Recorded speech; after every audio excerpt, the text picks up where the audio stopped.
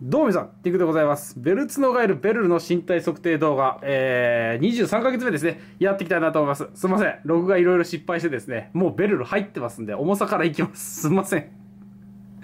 えー、0.310です。はい、ちょっとピントが迷子になっておりますが、あのー、ズームのボタンを押してる時にですね、間違って録画ボタン、停止ボタンを押してしまって。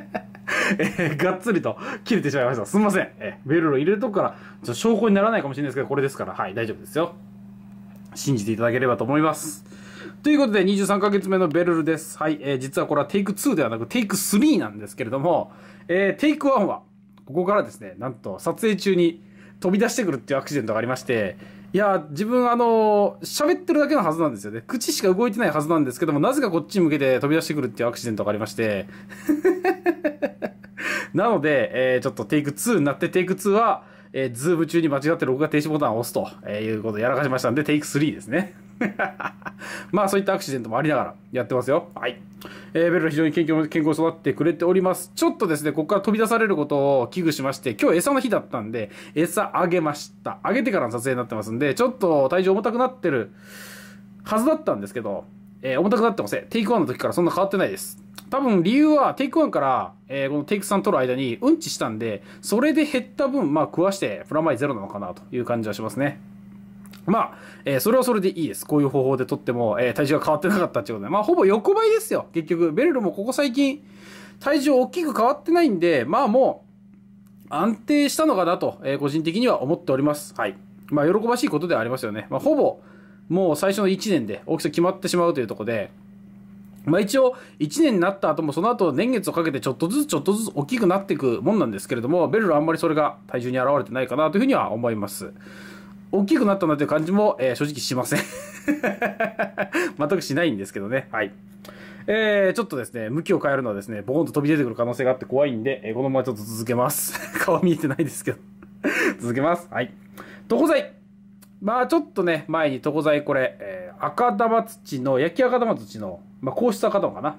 のオレンジラインが2本引っ張ってる、え、パッケージのものを使いましたけども、あその時もね、1ヶ月使ってばいいと言ったんですけど、まあ数ヶ月使って、えー、結果的にやっぱりね、いいです。改めてここではっきり言わせていただこうかなと思いますが、まあ数ヶ月使ったんでちょっとよりね、信憑性が出てると思っていただいたらいいんですけども、非常に良いと思ってます、今。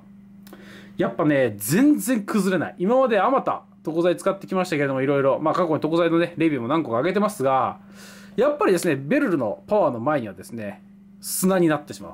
土じゃなくなっちゃうってとこがあったんですけども、こっち向かれると怖えな。大丈夫だよね、ベルル。飛んでこないよね、この間みたいにね。これでね、飛んでこられたんでね、めっちゃ怖い。めっちゃ怖い。不安だけど、まあ大丈夫でしょ、信じます。はい。で、えー、ちょっとこのリスクもあるんでね、撮影の方法変えんなと、変えていかんかなというふうにちょっと思ってます。これ閉めて撮影するっていうのもね、えー、一つなのかなと思ってますね。もうしょうがない。ある程度。うん。で、えー、この硬質赤玉ね、ベルルのこのパワーでも、全然一月ぐらい使ったぐらいでは、まあ、全く崩れないとは言いません。やっぱり洗っていく中で、えー、砂状になったものは流れていきますんで、あれだ。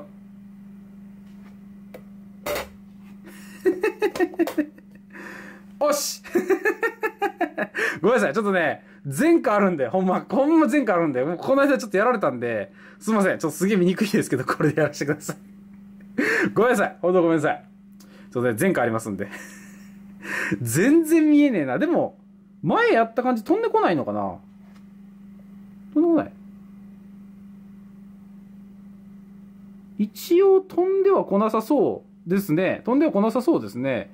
あの、一応ね、餌食べさせたんで、大丈夫やとは思ってるんですけどね。怖えな、怖えな。大丈夫か？本当に大丈夫？お腹減ってたらこれで飛んできます。いい？大丈夫？めっちゃ怖い。めっちゃ怖い。まあいいでしょう。やっていきましょう。これでいきますかね。で、ベルルの力でも全然崩れないんですけど、床材の話ちょっと途中で切ってしまって申し訳ないですね。やっぱりですね、ただ、あの、粉になったやつが、土って言ってる割にはすっごいサラサラします。なんかプラスチックなんかなっていうぐらいにサラサラするんで、これがね、多分分かれると思います。今までの土っていうのは、まあ粉々になっていくとですね、まあ粒から、本当に地面のまあ土みたいな感じ、粘土状になってたんですけれども、そういったのはなくて、ずっとサラサラの状態になりますんで、ここはですね、いいと捉えるか悪いと捉えるかっていうのは人によるのかなと思います。まあ自分はすごく掃除がしやすいんで気に入ってますけれども、まあどちらが好きかとか、より土っぽい方が好きな場合はこの赤玉あんまりなのかなというふうには思いました。で、もう一つ、えー、この1ヶ月大きく変えたことはですね、人工餌の量をちょっとだけ増やしました。今まで、えー、今、須藤さんの人工餌使ってて、まあスプーン、計量スプーンがついてくるんですけど、計量スプーンの半分ぐらいの人工餌を上げてるって言ってたんですけど、実は先月から、えー、スプーンすり切り1杯の人工餌にしてます。理由は何点かあるんですが、まず一つは人工餌と、まあその人工餌以外の日は虫をあげてるんですけども、その虫のあげてる量と人工餌の量を比較したときに、まあ圧倒的に虫の方が量として多いわけですよね。人工餌の日めっちゃ少ないんですよ。まあ一応太らせんの防止とはいえ、もうちょっと上げてもいいんじゃないかなと、昆虫の量から比較すると。っていうのを思ったのが一つ。で、もう一つは、まあもうアダルトまで来てますんで、これからですね、まあ、すっごい体重が今変動してるわけでもないわけですよ。まあ、ある程度一定のとこまで来てますんで、ちょっと、すり、まあ、本来でかパッケージの裏にはすり切りで作る方法が書いてあるんですよ。なんで、すり切りで作ってあげてって、今後体重がまたね、すごいガガッと増えてきて、デブくなってくるようだったらまた戻しますけれども、ちょっと様子見たいなと思いました。本来の用途の使い方にちょっと合わせようかなと思ったんで、えー、すり切りに変更しました。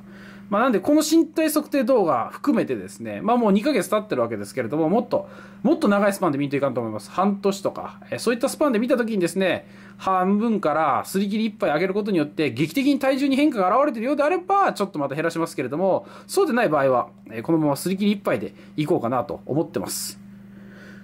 この目、片目だけ見えてんの怖いからやめて。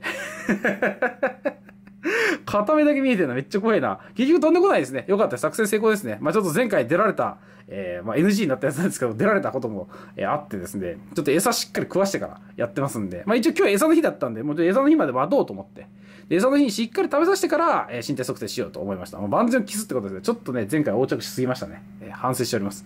まあ、ボツになってんであれなんですけど。びっくりしました。飛び出て、思わず、まあ、そんなにね、めちゃめちゃ高さ出てるわけじゃないんで、ここ。まあ、落ちても大丈夫だったと思うんですけど、まあ、さっと手で受けれたんで、よかったです。はい。カメラがそれで潰れなくてあってよかったです。手で受けるときカメラ倒しちゃったんで 潰れなくてよかったですけども、えー、なんとか無事でした。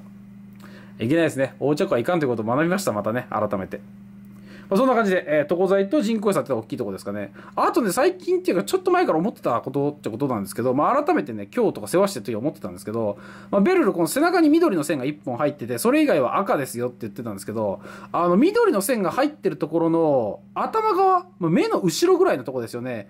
らへん一体、ちょっとこう、苔っぽい色合いっていうんですかね。この茶色のところがちょっと苔みたいな色合いしてて、若干元の緑が、あの見えてたりするんですよね。ちょっと緑がかってるんですよ。だからそこだけ一本緑なんじゃなくて、ほんのり緑感が出てる箇所は何箇所かあるのかなというふうには思ってます。あ、もう一個言わされてました。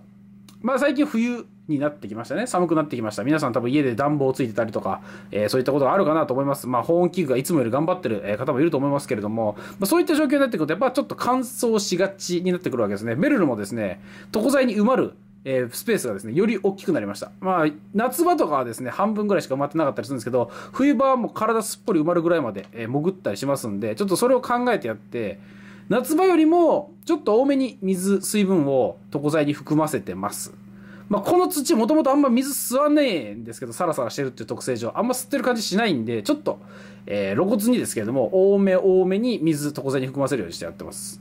まあ、当然そうするとですね、えー、まあいろいろね、水が汚れて今度汚れが出たりとかしやすかったり、あとまあ排便がね、土で飼育してるのと水で飼育してるのだったら水で飼育してる方が排便良くするっていう風にね、ちょっと聞いたりもしますんで、まあ、今までよりもするようになるんで、ちょっと掃除とかはね、よう見といてあげんといけないんですけども、えー、ちょっと冬に合わせて湿度調節、まあしやすくなる。まあ本人がもうちょっと快適に多分なるんじゃないかなという読みです。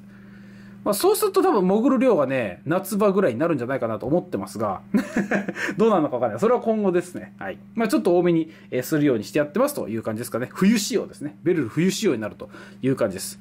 今日だからベルルの体型があの、ぷくっとしてるのはさっき言ったように餌あげた直後ですんで、ぷくっとしてればデュビアを、えー、よ、五、じゃあ4匹かな ?5 匹目食べようとしたけどやめたんだな。うん。なんか一瞬反応したんで食べっかなと思ったんですけど、結局食べなかったんで4匹ですね。